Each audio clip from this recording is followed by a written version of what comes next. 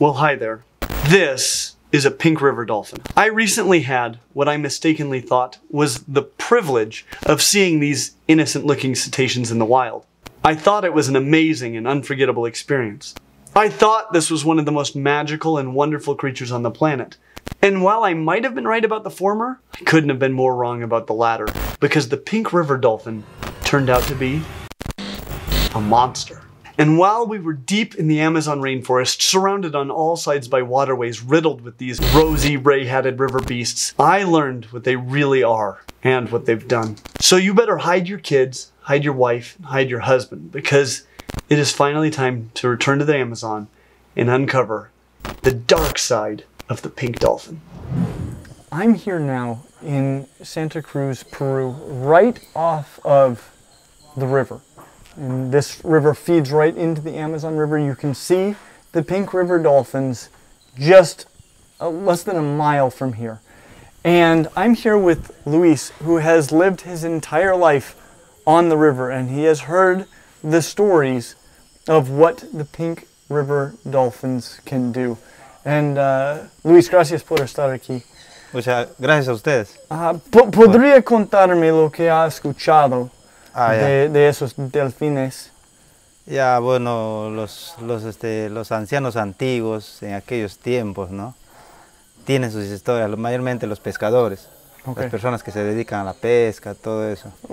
So, so the, the, the older people, uh, especially the fishermen, have their stories. Bueno, este, lo que, lo que cuentan los mitos, cada vez por decir, en el Amazonas, a la orilla del Amazonas siempre están acostumbrados a poner los pueblos, están los pueblos, ¿no? All the towns are right off of the Amazon River.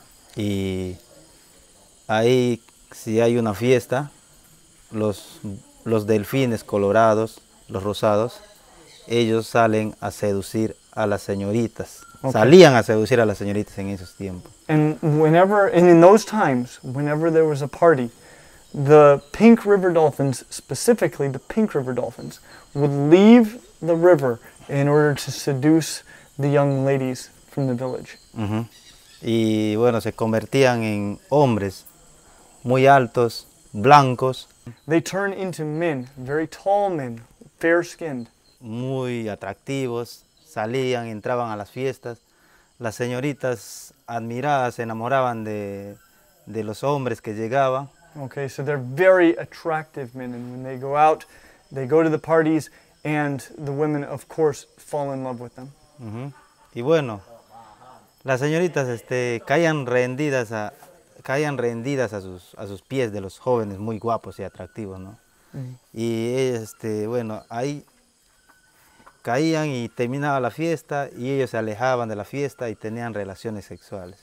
Then, you know, they just like fall at the feet of these attractive men who are in actuality pink river dolphins, and they follow them out of the fiesta and they have sexual relations with them. En eso las, la señorita quedaba gestando, embarazada, embarazada y cuando nacía salía una, un bebé normal, pero el bebé cuando ya comenzaba a caminar se tiraba al, al río y ya no más regresaba. These the women become become pregnant and they give birth to a child that seems like a normal child, but then one day they jump into the river and they're never heard from again.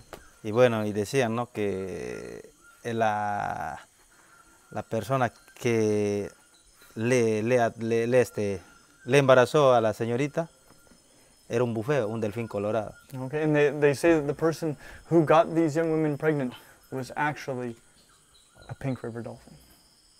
Esos son los mitos, ¿no? Dicen que el, el hombre blanco y atractivo sale por las no- salía por las noches, su gorra, la gorra es una raya. Una raya. Uh, una raya, la- sí, este, animal. mm, este, un pez, pez raya, el redondo. Sí. Sí. And they, and they say that this, this man who leaves the sea, his, his hat is actually a stingray. Y los zapatos que llevan es este, una, este, un pez se llama carachama. Carachama. Carachama. ¿Qué Es hace el catfish. carachama? Es Oh, catfish. Eso es parte de su zapato, se transforma en su zapato. Okay, his His shoes are catfish. He's like Satan Cinderella of the deep. Sí, bueno, esas son las historias, los mitos de, las, de, las, de los ancianos, que en aquellos tiempos, bueno, ellos miraban eso. Y eso es lo que a mí también me, me contaban de parte de This is what the, the, the ancient ones would say. And these are the stories that, that he's been told all his life growing up here on the river in the presence of these pink river dolphins. All right, I'm now here with Sam, who uh, just a few years ago had her own personal experience with the pink river dolphin. And Sam, would, would you share this harrowing experience with us? I was about eight years old and I was on an Amazon trip with my family. Uh, we were just going down the Amazon River on a boat and we were stopping at many places to interact with the people and see different animals. And we stopped at a place where you could feed the river dolphins, like the pink river dolphins and the gray river dolphins. And I was kind of hesitant to go up and feed it because I had seen people feeding them, like other than us, and they just have these huge snouts and a lot of rows of teeth. But I was convinced to feed it, and I Seduced, if you will. sure. And I held out my I held out my hand with the fish in it, and the pink this pink river dolphin came up and just ate my entire hand with the fish, and I could feel all the rows of teeth along along my Grating arm. down your arm. As it tried Yeah. to pull you potentially into the water. Yeah, and it was For it was knows what terrifying. it was terrifying, and I I was I cried because I was I was so scared because my fears had come true, and I could I could see the marks from where the teeth. How did you free yourself from the grasp of the beast? I I had to yank my arm back because it was it's like it's, it was like a reflex mm-hmm. From from being bitten. Thank and goodness. it it took it took the fish with it very ungratefully. Yeah, so you you offered it a gift and it tried to take potentially everything. Everything. Now how so, so you were able to, to fight free. Um, then what happened?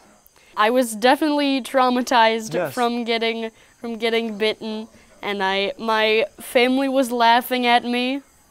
'Cause they, did, they, they for- didn't understand, I don't think, the gravity of what you were going through. Yeah, they didn't know what these these animals are capable of. Yeah, it, it the dolphin felt like it was pulling me in. Yes, I could see I could see the intent in its eyes and it was terrifying. Absolutely, and I, I appreciate, you know, I, I recognize that even though it's been a few years, this is probably still a very difficult experience for you to deal with. I, I could see at times that you had to laugh to keep from crying, and I, uh, I just appreciate your bravery as you've shared this experience with this terrifying beast. Thank you so much, Sam. I really mm-hmm. appreciate you being here today. Yep. Do you have anything else that you'd like for us to know about these devils of the deep, the pink river dolphin? Definitely don't trust them. Stay away, stay clear. You're hearing this from a survivor. I'd like to just thank Luis and Sam for sharing this harrowing experience. I honestly, um, it, it- it's hard to even reflect on on what we've heard, knowing what these creatures are capable of. They are seducing our women and attempting, at the very least, to consume our children. It's unspeakable. It's unspeakable what these creatures have done and potentially continue to do. I, I'm thankful to the people at the Iquitos airport for at least trying to inform everyone that comes into Iquitos, Peru, exactly what these creatures are. I hope that one day these atrocities come to an end. Uh, but until then, happy April Fool's Day. As always, like and subscribe, and we hope to see you real soon. Though they really do think this, and that one really did try to eat Sam. So, what do I know? Pink river dolphins turned into men. Sorry. Un momentito. Nothing. Um, sorry, sorry. Okay. I was doing so well. You're hearing this from a survivor. Thank you.